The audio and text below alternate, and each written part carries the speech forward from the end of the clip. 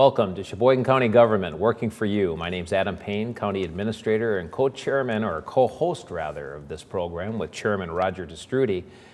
And I'm already a little on edge because I'm on the opposite side of where I sit. Today, Chairman Te Stroete is going to be interviewing me. Uh, recently, I gave my 15th annual State of the County. I've been here 16 years now, and every year uh, provide a State of the County update, and Chairman Te Stroete thought it'd be nice to give a big picture update to our viewers on the roles and responsibilities of county government, as well as touch on some of the accomplishments and challenges ahead.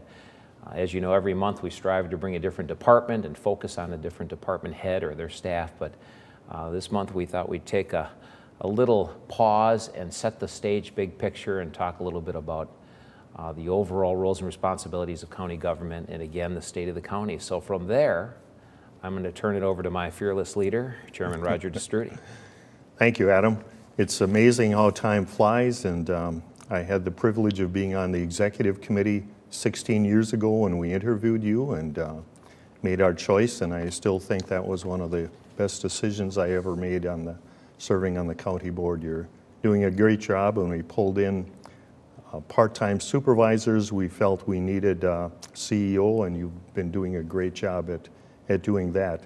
But why don't you tell the viewers a little bit about your background and uh, a little bit about the hiring process and a little bit about your family now and uh, where your roots came from? Yeah, sure, I'd be glad to. And I thank you for the opportunity that you and Bill Gehring and others gave me on the executive committee. Uh, 16 years ago. It's amazing. We haven't changed a bit, have we, Roger? Just we, time has definitely flown, and I'm so grateful to be in this community because, as you know, my parents, grandparents, and great grandparents were born and raised in Sheboygan County, predominantly in the Sheboygan Falls area.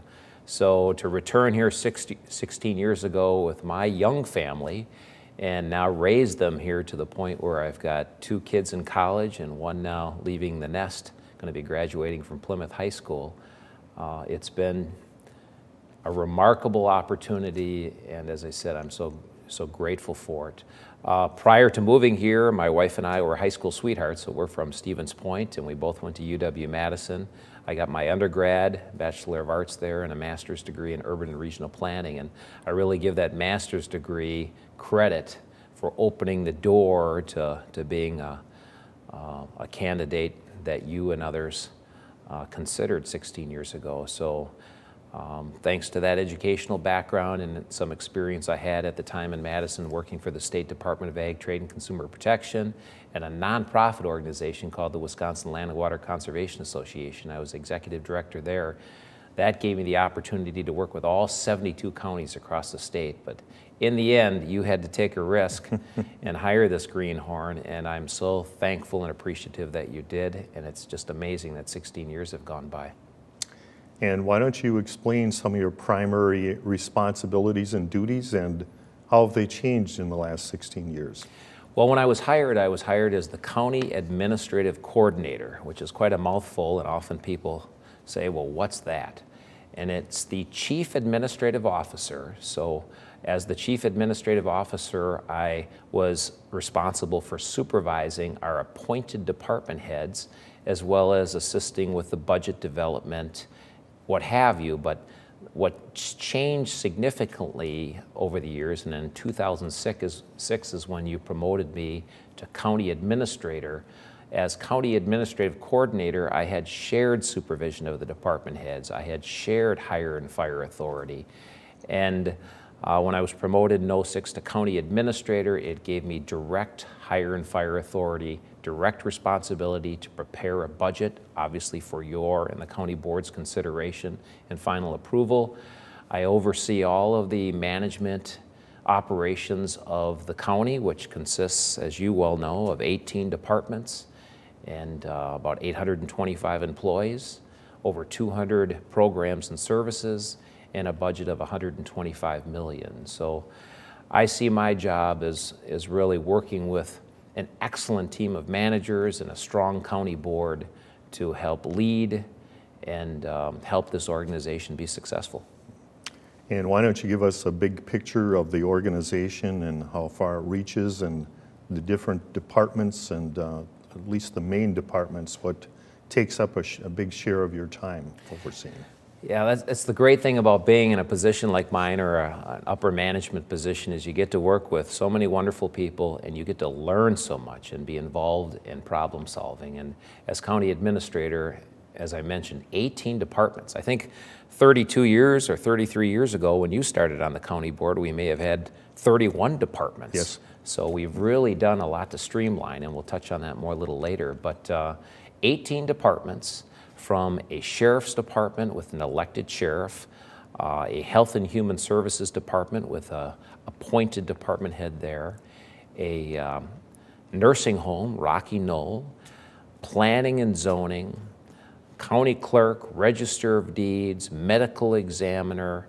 Um, the list goes on and on. There are so many unique areas of responsibility in county government. And it's a pleasure to work with the board and with managers and our staff as a whole to problem solve and help this community. And many people aren't aware of the breadth of county government, but they may be aware that you have a sheriff's department. They may be aware of some health and human services for the neediest of the needy. But uh, there's such a tremendous breadth and opportunity to get involved and, and help your community be successful when you're part of county government. And when you started 16 years ago, what were some of the uh, biggest challenges you faced and how have they changed over the years?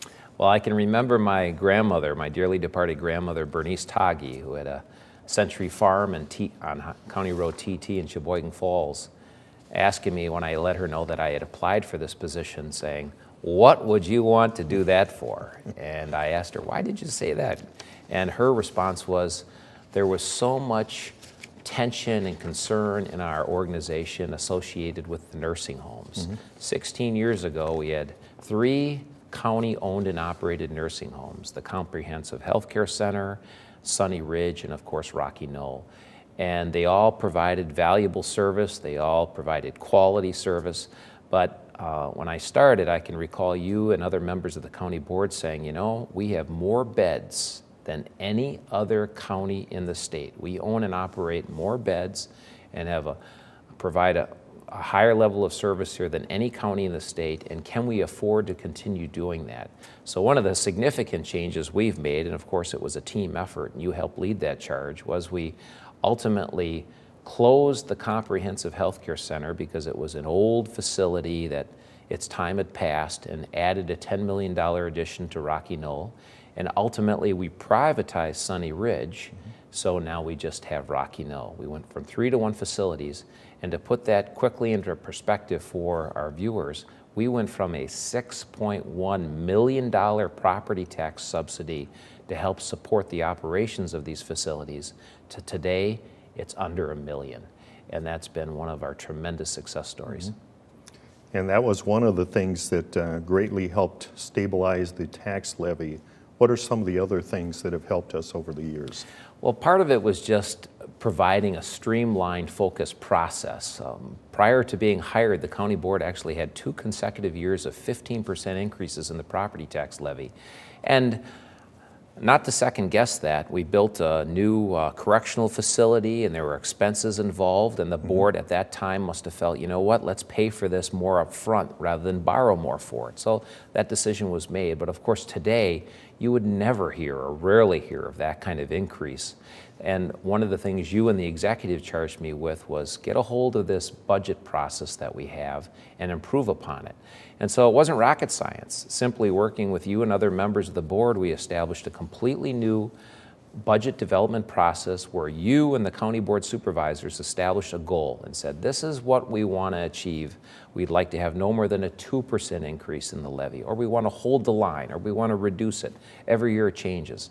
And then it's my job to help the county board be successful, to work with our department heads, establish specific targets for them, and then we all work together to achieve that goal.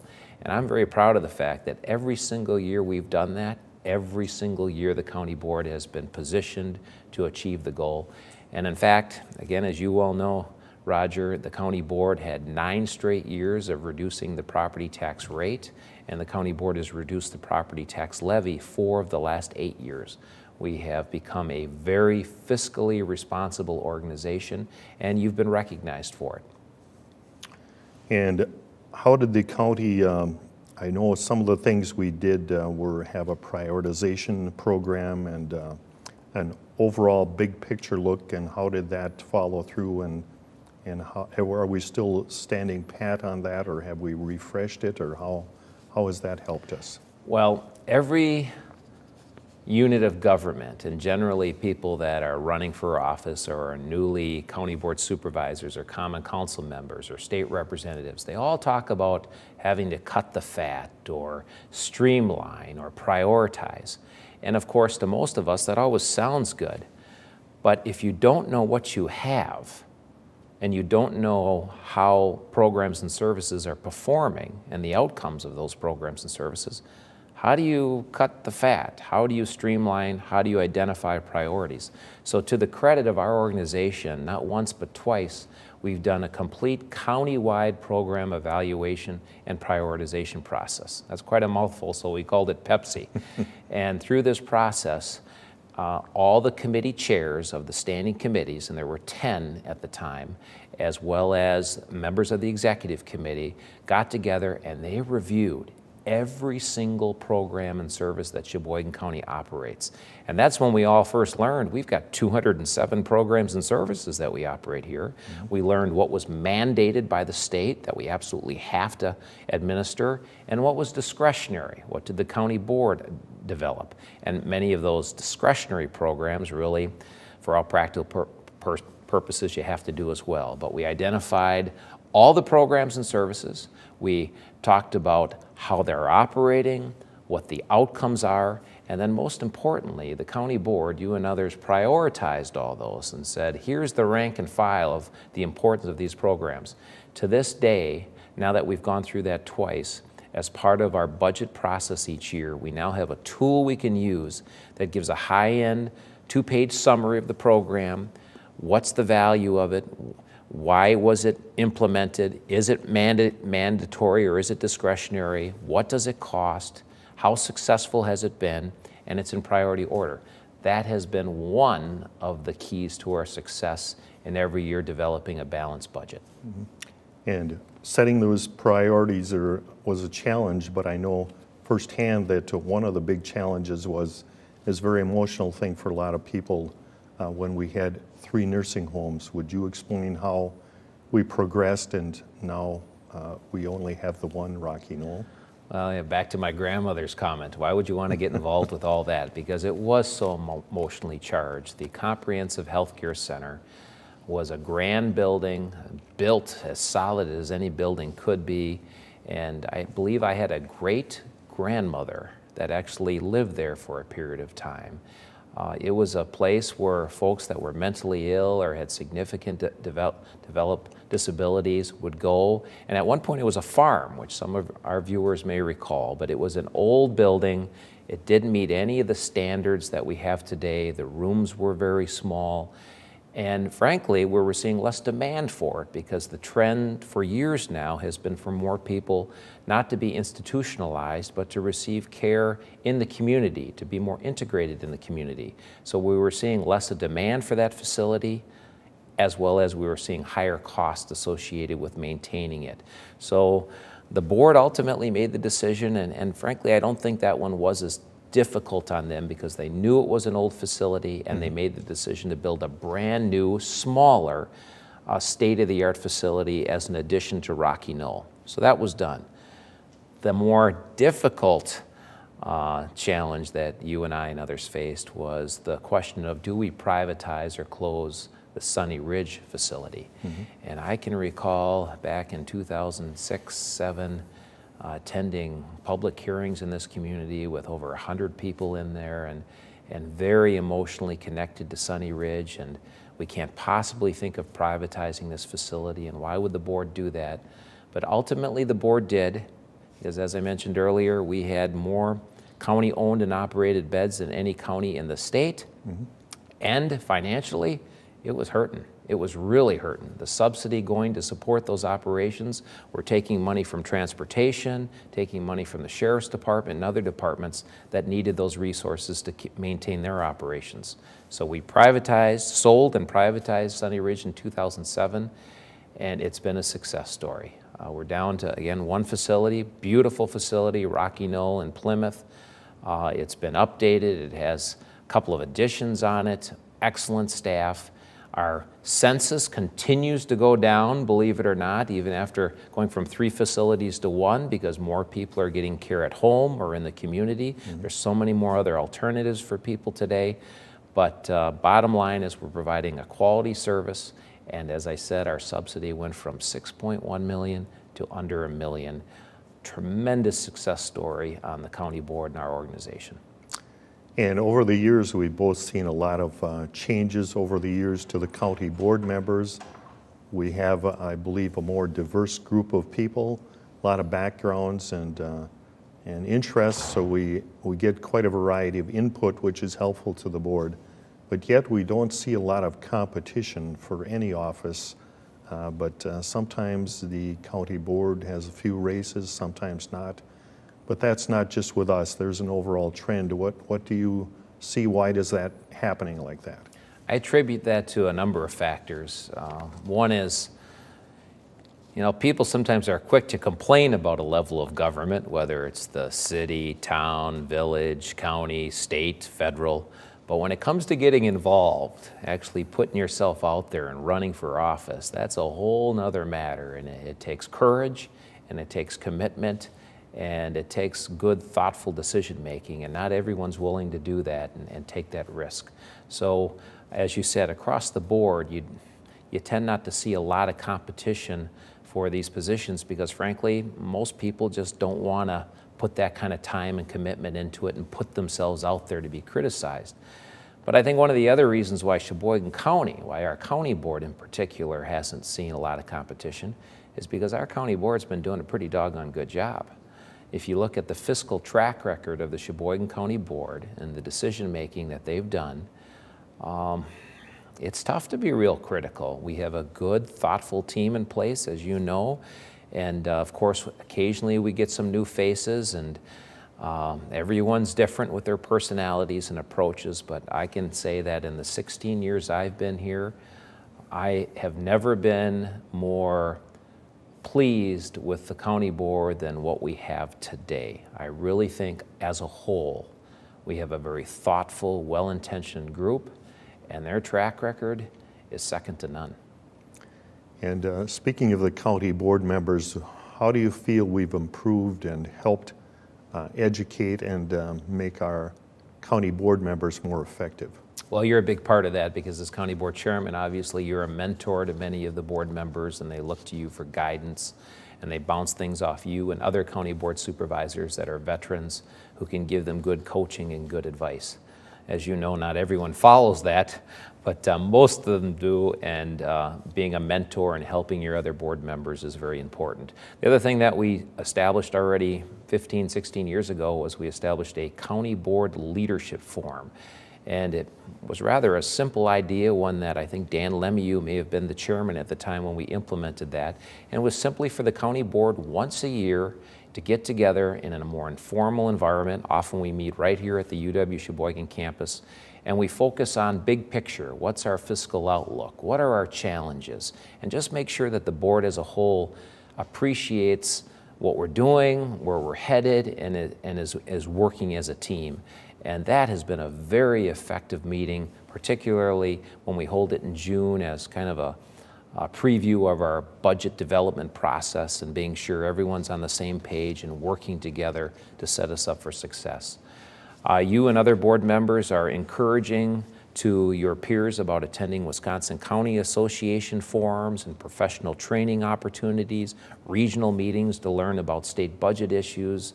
Um, I mean, often we don't have to reinvent the wheel. With 71 other counties out there, they may have had a good approach or an idea, and board members and positions such as myself and department heads, we, we, we learn from one another. So I really think, again, it's a reflection of our county board wanting to be the best they can be, supporting professional development, and personally, taking the time personally to attend things like our annual County Board Leadership Forum and getting involved. Uh, we have a, a, thoughtful group of individuals that overall really puts the time into to learn and make good decisions. And every year, there's a State of the Union address, a State of the State address, and the last few years, we've been have a State of the County address that you give us. And it's always great to get the big picture and what have we done and what are we going to do. I don't know that you got as many standing ovations as Governor Walker or the president did, but uh, it, it was great. Would you summarize what some of the things we were talking about uh, in that State of the My County? pleasure, my pleasure. I think one of the keys to our success in Sheboygan County is good communications and teamwork. And we have a lot of collaboration and, as I said, a, a track record that I think we can all take pride in. As I shared with the county board in February, the state of Sheboygan County is strong. We have a strong fiscal track record. We have excellent reserves. We have uh, been very good about our budget development process and balancing our budget year after year and working within budget parameters. And so when you look at our organization from a fiscal standpoint today and in the past, it is strong. Um, our bond rating is outstanding. It's as good as it can be for a community of our size. So that helps us keep interest rates low when we bond for transportation or, or, or major additions. So we're looking good in that regard.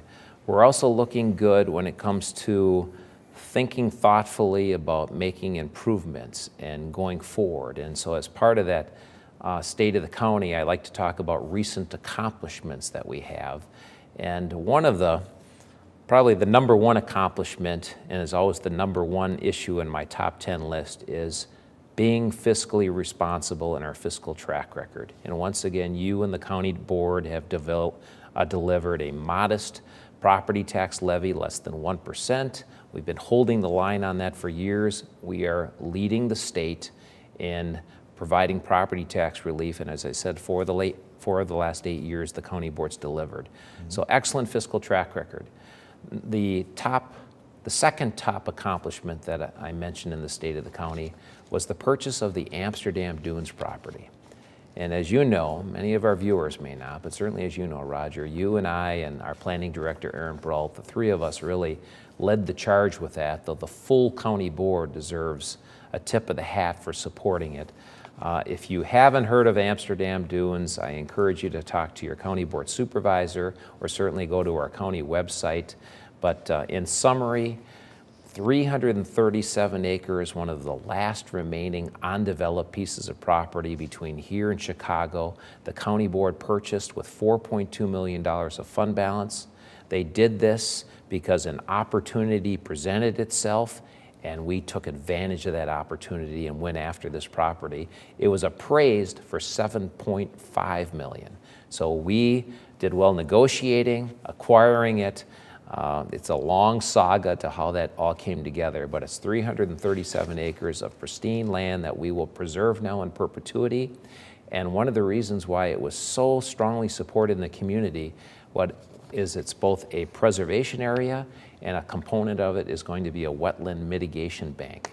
And if you've never heard of a wetland mitigation bank, anytime the, a road or airport needs to be improved or a company needs to expand their headquarters and that's going to impact a wetland area, that's a difficult thing to get approval to do by the DNR, but as a practical matter, when it needs to happen, again, for a road expansion, an airport expansion, a, a new headquarter expansion, for every acre of wetland that's destroyed, another acre and a half or two needs to be set aside and preserved. And this wetland mitigation bank is going to position Sheboygan County to be highly competitive when it comes to economic development opportunities. And it's also going to uh, position us to be far more cost effective rather than purchasing wetland mitigation credits in an area outside of the community that has no bearing on us or doesn't help Sheboygan County. We're going to be able to create wetlands right here that enhance our own environment.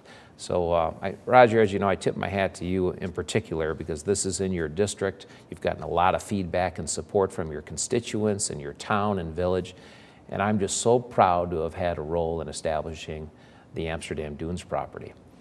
I know we're running short on time, but uh, one of the other areas I'll briefly touch on is just the board's thoughtfulness in making sure that we're continuing to improve our infrastructure. We recently completed an addition to our Health and Human Services Department in Sheboygan, a beautiful addition that's going to help serve our clients. We recently, um, the county board, when I say we, The county board recently supported another addition to UW Sheboygan. The engineering addition is being built as we speak. And of course, that's going to be complement to this, this facility and the science addition and the Acuity Technology Center. Uh, our transportation system is highly important to us. We continue to put dollars there. As you know, I could go on, on and on, but I'm just very proud of the accomplishments that the county board and our organization has made. Well, there's a lot of things that we've done in the last few years, and uh, it's really great uh, to be part of it. What do you really see as the biggest challenge going forward?